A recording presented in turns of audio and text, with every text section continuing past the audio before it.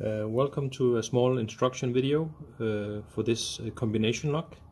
Um, it's a lock which you can buy in uh, two different models. One model uh, for right hand doors and one model for left hand doors. Uh, the lock is available in two different colors as you can see, in black or in chrome. Furthermore, you can buy them in different lengths. The cylinder lengths we have in 16, in 20, 25 and 30 millimeters. The lock is with three digits and it comes from the factory uh, pre-coded with three times zero. So when you buy it, you can of course use the, the factory code, but uh, we suggest that you change it immediately uh, to secure your locker. The way you do it is that you know, of course, the factory code and you put it in this position, three times zero. Then you turn it and then you can open up the inside body. You need a sharp pencil or something else and then you push it inside and then you start to turn the digit to the code that you want. So let's say we want this new code uh, to be 200 and then we release the button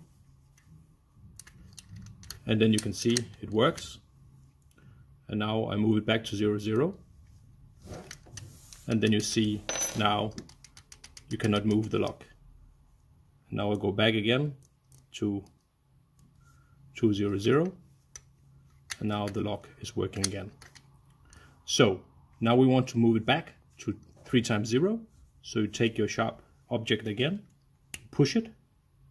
You turn the dial while pushing in the sharp object now it's back on 0, 0.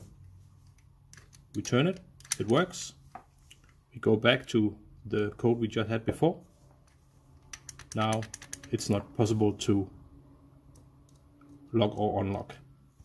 So very simple, you just push in an object in here and you change the codes to the desired code. Thank you very much.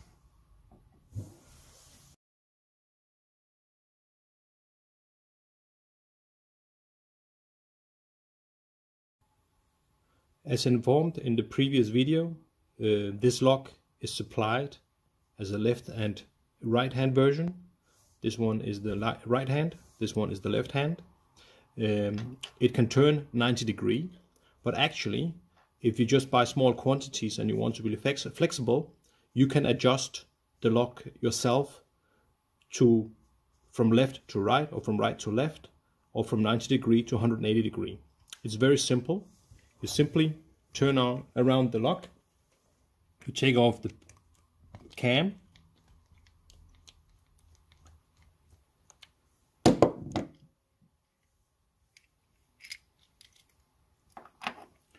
Then you just take off this part. And here you will see this small brass knob. Next to it it says R for right so this is the right hand lock. So if you want to build it to a left hand lock, you just take out this small pin and you put it in the other hole like this. Or if you want a lock which can turn 180 degree, you put it in the third hole over here.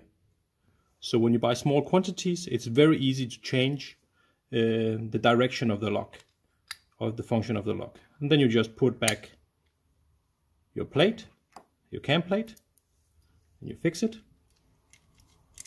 Oops, sorry, to the right position, how you want it.